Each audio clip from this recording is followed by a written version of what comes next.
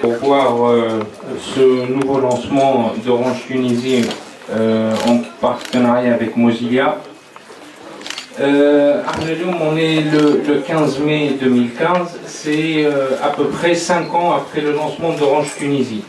Donc le lancement d'Orange Tunisie qui s'est passé euh, le 5 mai 2010. Euh, donc 5 ans après ce lancement, nous sommes fiers d'avoir d'avoir plus de 3 millions de clients aujourd'hui. Et ces 3 millions de clients, ils sont servis par 1200 euh, collaborateurs et euh, 4500 emplois indirects. Donc quelque part, ça c'était un peu l'objectif d'Orange Tunisie en arrivant sur le marché, c'est-à-dire démocratiser euh, l'Internet pour tous et puis faire en sorte en fait de créer des emplois dans notre pays. Euh, la, bonne, la bonne chose quelque part, c'est qu'aujourd'hui on voit que les usages d'Internet se sont énormément développés en 5 ans, donc grâce à l'arrivée de la 3G, ce qui a simplifié la vie de beaucoup de Tunisiens. My name is Andreas Gall and I'm the Chief Technology Officer of Mozilla. Bonjour, je suis Andreas Gall et je suis le CTO de Mozilla. Um, I have not spoken French since high school, so today Natalie is going to help me uh, talk to you. Je n'ai pas parlé français depuis l'école, donc aujourd'hui c'est Nathalie qui va traduire pour vous.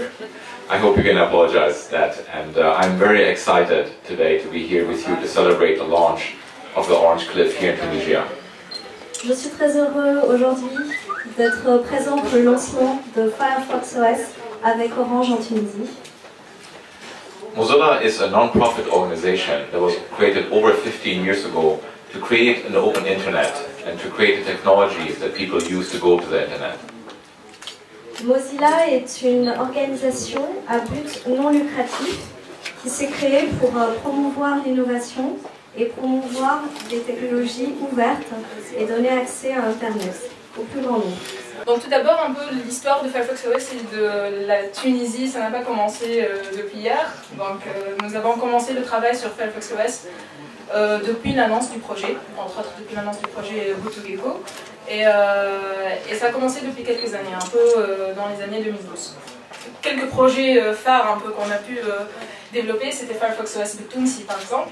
C'était une web série qu'on a commencé à filmer. C'est un de nos contributeurs qui faisait des vidéos pour faire, permettre aux gens de savoir ce que c'est que faire. Montrer euh, donc le nouveau smartphone Orange Cliff.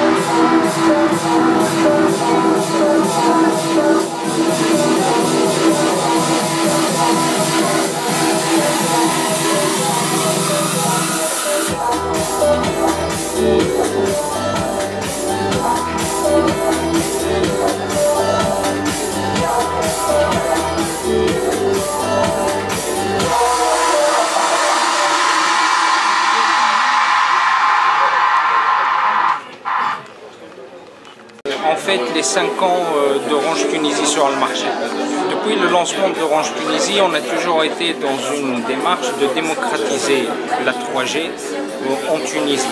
Donc, on, a simplifié la vie pour les Tunisiens et ça c'était notre objectif. Bon, par la suite, évidemment, il y a, le problème de, de l'équipement qu'on utilise pour accéder à la 3G. Et l'équipement qu'on utilise pour accéder à la 3G, si on se souvient il y a quelques années, était à des tarifs très très chers. Et donc non accessibles pour euh, les Tunisiens. Donc d'où l'idée en fait c'est de pouvoir sortir des smartphones qui ne coûtent pas très cher et qui peuvent être accessibles aux Tunisiens. Donc on a commencé par la gamme euh, Orange Gaga, ensuite la gamme Orange Pixie et puis par la suite donc on a, on a continué un peu nos réflexions par rapport euh, aux besoins des clients. En Tunisie, il y a à peu près 15% des Tunisiens qui utilisent le navigateur Firefox. Donc on a pensé que c'était utile d'avoir un, smartphone qui soit avec un tarif très acceptable et qui fonctionne donc sous l'OS Firefox. Et donc d'où ben, l'idée de ce partenariat qui a été fait pour qu'on puisse sortir ce smartphone donc à un tarif qui est très abordable et qui est inférieur à 100 dinars. Donc c'est un smartphone qui est double SIM, ce qui est déjà un avantage. Et en plus de ça, bah, il est à 3,5 pouces d'écran euh, avec un appareil photo. Euh, donc finalement tout cela fait que bah, le pack qu'on présente aujourd'hui, donc qui inclut 5, 5 gigas de data, qui inclut 50 dinars de bonus voix, le tout à 99 dinars, bah, c'est un prix très accessible pour les Tunisiens et j'espère qu'il va contribuer de façon significative à augmenter l'adoption de la 3G par les Tunisiens. Parce qu'on vit dans un monde ouvert et c'est très important qu'un Tunisien bah, puisse accéder à l'information dans le monde euh, parce que bah, maintenant euh, il n'y a plus de frontières par rapport à la technologie.